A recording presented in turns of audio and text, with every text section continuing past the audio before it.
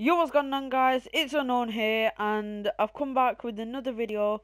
I said in my um later before video, I did another video playing Uplink in I believe Biolab.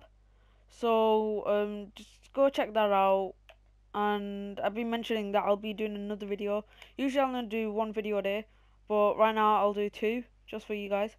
So I'm doing a supply drop opening. The first supply drop opening I actually did in 12 hours. I got 43 views.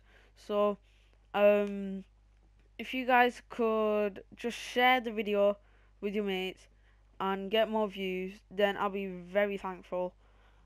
And if you can smash that like button as well, then that'll be grateful. So let's open the first supply drop. What can we get? Come on. Alright. They're all enlisted, but it's fine. Alright, next one. Come on. I'm actually going to use this, just because I think it looks alright. You know? Uh, what else did we get now? We got that. I don't really like MDL, just because it...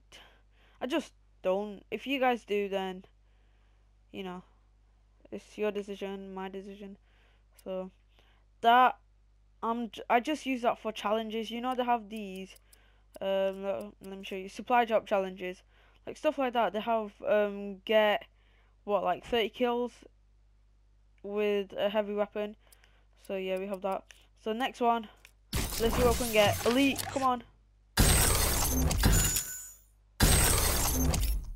We just got that before, but I believe this actually looks pretty cool. I'll put these on because I like them. Um, I was gonna put something else on these, but they barely make a difference. Um, I'll show you guys this weapon. So I've gone this, and look at it. It looks beautiful.